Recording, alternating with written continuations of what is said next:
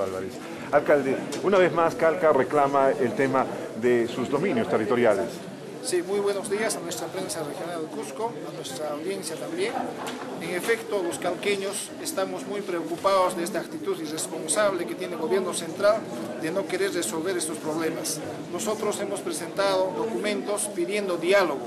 Nosotros somos autoridades, queremos el diálogo, pero no hay respuesta a, esta, a, estos pedidos en el que nosotros estamos exigiendo necesidades de nuestro pueblo, pero sin embargo a esta negativa y a este último documento del gobierno regional, prácticamente el comité de lucha, la sociedad civil está exacerbada en su emoción, está muy eh, preocupada y prácticamente ya el comité de lucha está lanzando otra jornada de lucha que pueda pues prácticamente presionar al gobierno y eso es creo que lo que, lo que prácticamente como costumbre ya le gusta al gobierno de no querer resolver las cosas de manera diplomática.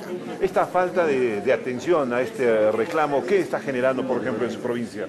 Nosotros somos una provincia pacífica, por eso queremos el diálogo, pero al no ser escuchados prácticamente la sociedad civil ya no quiere tolerar más, son años que pasan, mucha, mucho, mucho problema, ha corrido mucha sangre, muchas vidas se han cobrado en esto, entonces, señores, nosotros queremos un diálogo.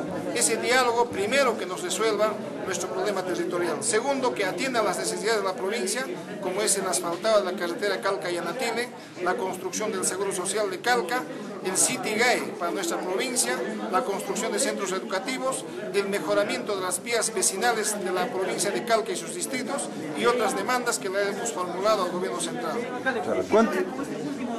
¿Cuánto? el gobierno regional les hace llegar a ustedes indicando que ellos no pueden solucionar el problema. El, el Consejo, hemos tenido conocimiento el día de ayer de este documento y el Consejo Municipal en la próxima sesión de Consejo vamos a tomar una actitud, vamos a redactar un documento de respuesta al cual ya adelantamos que vamos a rechazar esta actitud del presidente regional. ¿Cómo se afecta la Municipalidad de Calca con la reducción de presupuesto?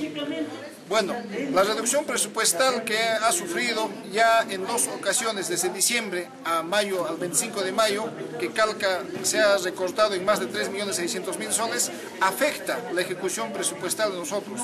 Tenemos un PIA, un presupuesto institucional que ya está programado, entonces nosotros tenemos que reajustar, pero nosotros sospechamos que el actual presidente de la República tiene el antojo de seguir recortando como lo ha hecho los años pasados, siempre. Entonces creo que su propósito es hacer una bolsa financiera para poder atender sus programas sociales o transferir fondos a los ministerios para que directamente, no solamente el problema que tenemos los gobiernos locales es el recorte presupuestal, también ha salido una directiva en el que prohíbe a los gobiernos locales la ejecución, la ejecución de obras que cuesten más de 5 millones de soles. Es decir, las municipalidades no pueden ejecutar transferencias financieras que cuesten más de 5 millones, sino deben ser derivados siempre a los ministerios correspondientes.